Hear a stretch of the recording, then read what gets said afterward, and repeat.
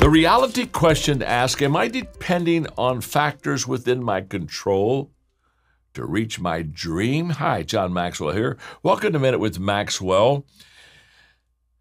I tell people if you want to have a big dream, you've got to have a solid foundation. And the reality question is the solid foundation. The dream I have are most of the factors that are going to accomplish that dream are they within my control or are they outside of my control? You see if you want to go high and you want to really build a great dream it, doesn't begin with uh, hope or or fantasy. It begins with reality. In fact max De Pree says the first responsibility of a leader is to define reality.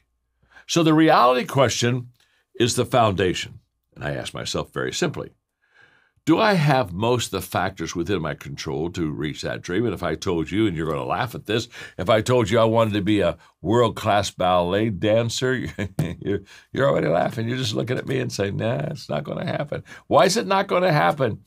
I'm too old. I don't have the body. I'm fat. I'm clumsy. I, how long of the list do you want that will tell you I am never going to be a world class ballet dancer? Why? The factors are not within my control.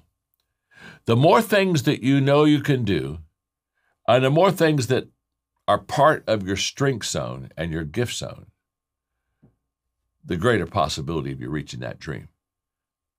But don't let somebody just say, well, if you believe it, you can achieve it. No, I, I would say this if you build the right foundation, you can achieve it. Belief is important, but the foundation is not belief. The foundation for your dream to come true is reality. So thanks for being with me today on Minute with Maxwell.